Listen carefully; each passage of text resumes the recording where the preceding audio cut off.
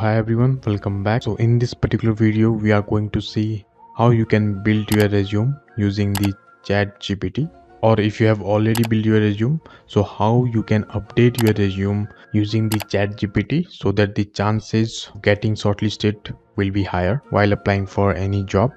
So let's move on to the screen. So the first question i'm right now asking is what are the chance of my resume getting selected for a social media marketing role below this i will copy paste my resume which i cannot show you for the privacy reasons. So let's see how chat gpt answer. So here is the answer. So based on the information in your resume it is difficult to determine the chance of being selected for the social media marketing role because my resume does not showcase any relevant skills or experience so why it is showing that? Because so i haven't made my resume for social media marketing and i haven't added any skills related to social media marketing. So let's ask the another question. The next question is so based on the information provided in my resume which position i am qualified to work in? So let's see how this goes so here's the answer. Based on the information provided in your resume, it appears that your experience and skills in the field of VLSI design and verification. The domain in which I can work is VLSI design or verification. Okay, so let me ask the another question. Based on the information provided in my resume, what are my chances of getting selected for a VLSI design position? Let me see how the chat GPT answered. So based on the information provided in your resume, it appears that you have completed a BTech degree.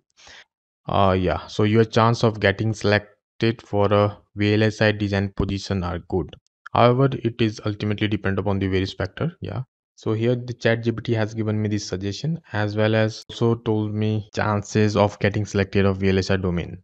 So let me ask uh, one more question. What changes should I make to my resume to increase my chances of getting job in VLSI field.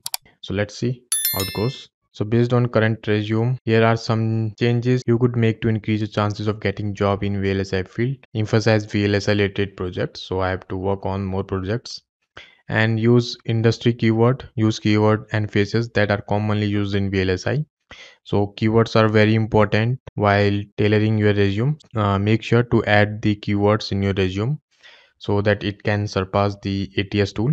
Here ChatGPT has also suggested me the keywords like such as Verilog VHDL, ASIC design, RTL design. The fourth is the showcase your skills and achievement. Use bullet point to list your skills and achievement that are relevant to VLSI design. So yeah, always use bullet points. Do not use the paragraphs in your resume. Tailor your resume to the job description. Definitely you should always tailor your resume or update your resume as per the job description. So this can increase your chance of getting selected for an interview.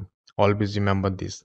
So these are the five points which ChatGPT has recommended me me to update my resume. Changes that should I make to my resume to increase my chances of getting jobs in VLSI field. And same applies for any field in whichever field you are applying for, whether software engineering or whatever the field you are applying for okay so this is how you can use the chat gpt and it's absolutely free. You don't have to go for any paid version. So chat gpt basic version is uh, good enough to work on your resume or to upgrade your skills. So this is how you can make changes and update your resume as well as you can build your resume from the scratch. Okay so that's it for now. And if you find this video helpful so please like this video and share this video with your friends. And if you want more such videos you can comment it below. And if you had any other questions you can you guys can comment it below or you can message me on instagram. And do not forget to join our telegram group for more updates. So see you in the next video. Till then take care stay safe and bye bye